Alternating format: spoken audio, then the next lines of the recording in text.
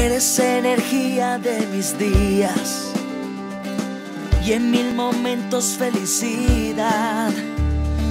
Eres esa chispa que me inspira a vivir con claridad.